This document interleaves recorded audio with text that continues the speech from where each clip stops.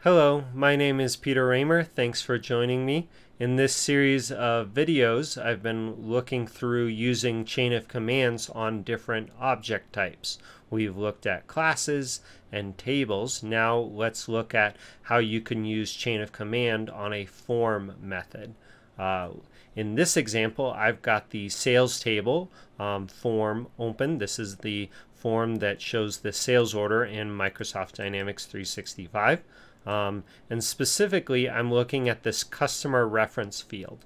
Let's pretend that we want to change what form would open if a user were to right click and select view details. Normally, uh, this functionality on um, certain controls will jump into a deeper form. So you might see this on um, an item. If we were to click on an item, we can um, see the item details.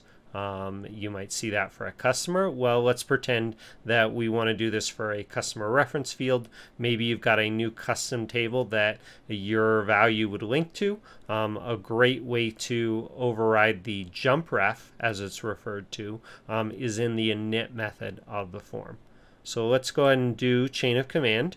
Um, if I right click and create a new class, and I select my class object, Best practice is that I name the class after my base object, so in this case sales table. And then what I've found is if you uh, provide the type of object you're modifying, that can help distinguish between your different chain of command classes in case you are using chain of command on the sales table table as well as on the sales table form. So I've said sales table underscore form, then I'm going to say underscore extension.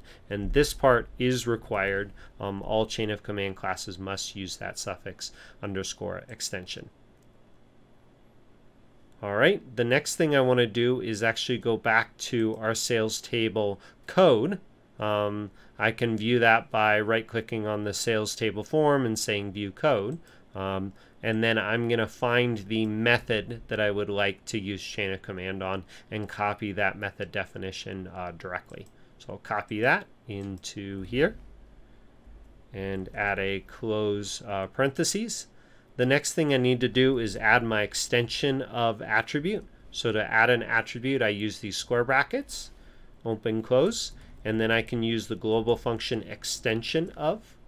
And inside of extension of, it takes a string, um, but rather than typing a string explicitly, it's a best practice that we use a global function so that if that base object name ever changes, um, we'll get a compile error, compile error and know right away. So in this case, I'm actually going to use the global function form string, and then I can type in the name of our base object, sales table.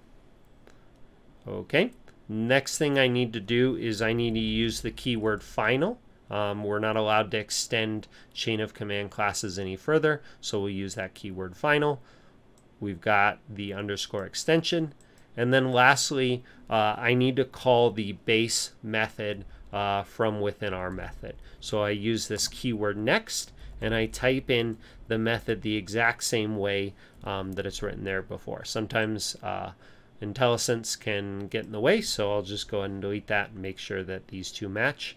Uh, the base method returns void, so I don't need to return anything out of this method um, itself either. Now I can put code in here. My custom code um, goes here. Uh, and if I need to set a field's value to enabled or disabled, I can do that right from this form, um, right in this place. Okay, thanks so much for watching.